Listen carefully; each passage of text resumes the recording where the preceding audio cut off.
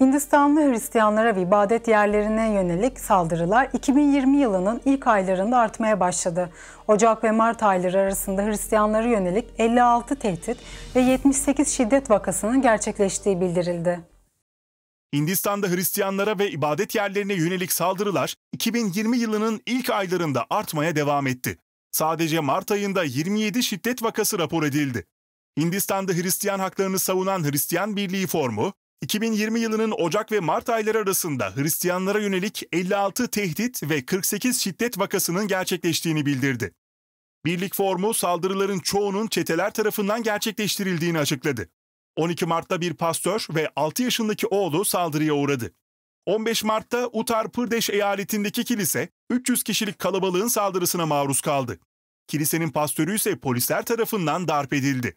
Uluslararası Hristiyan Kurumu Hindistan'da koronavirüs salgınıyla mücadele kapsamındaki tedbirler nedeniyle Hristiyanlara yönelik saldırıların azaldığını bildirdi. Hristiyan Kurumu salgının ardından saldırıların yeniden artacağı konusunda uyarıda da bulundu.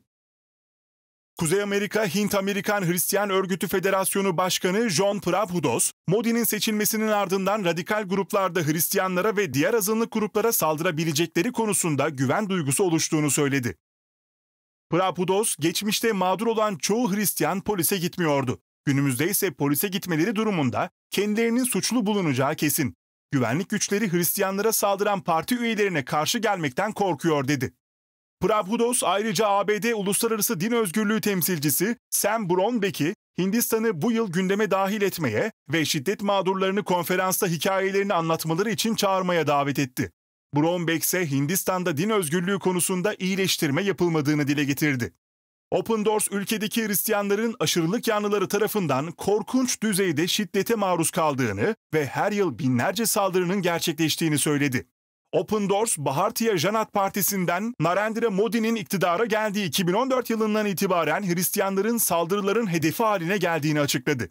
Mart ayında Hristiyanlar Hinduları din değiştirmeye zorladıkları iddiasıyla polisler tarafından saldırıya uğradı ve çarmıha gerilen İsa Mesih gibi durmaya zorlandı.